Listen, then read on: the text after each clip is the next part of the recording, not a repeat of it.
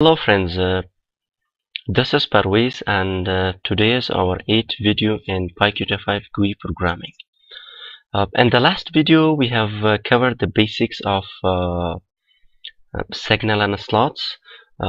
in this video we are also going to cover the basics of signal and slots. don't worry, we will cover the advanced topics of our signal and slots in the further videos. Uh, this was from the previous video. We have made a simple uh, signal and a slot for our this uh, close button. Uh, you can see that if I clue, uh, click on this uh, close button the window is closed. The window became closed like this. This code is from the previous video if you haven't watched that uh, I highly recommend that watch that video and come back. Okay. Uh, now in this video we are going to make this our this uh, uh Win application a little complex. Uh, I want to I want that when a user click the close button there should be a message box that are you sure you want to close? Yes or no? Okay now let's get started first of all I remove uh, this my this click uh, and also I remove this because I want to write all now if I run this you can see that there is no functionality in the close button. Okay. Now the first thing you need you should define a function uh, I name it close app. And in here make variable reply uh, QMessageBox. First of all uh, you need I have already imported imported this. You should uh, import QMessageBox in your uh, uh, Qt5 queue widget. Import QMessageBox.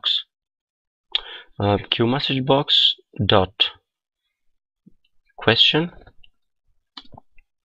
It takes it it takes uh, some parameters. Uh, the first one is uh, self the second one is the title of uh, message box. I give it close message.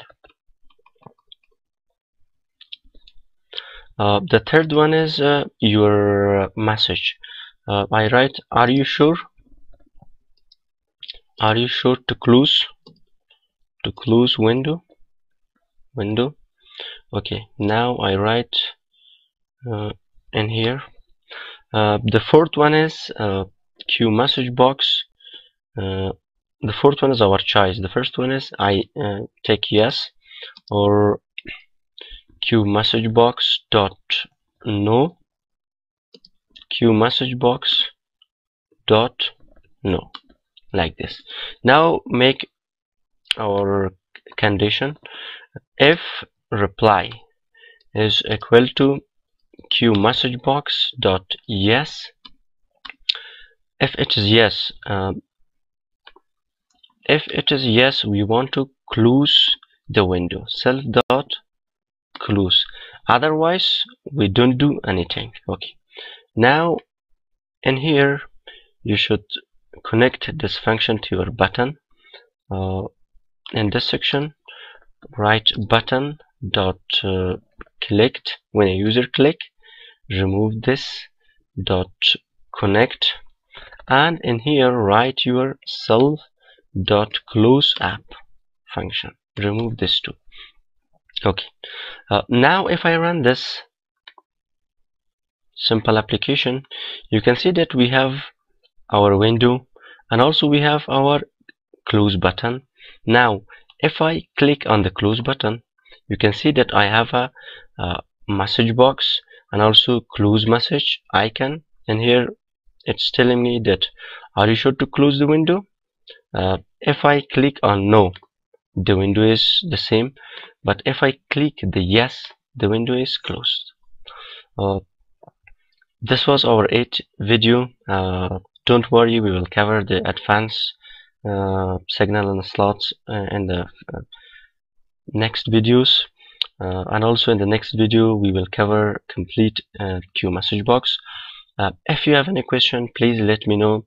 And if you like this video uh, please uh, like the video and also please uh, subscribe the channel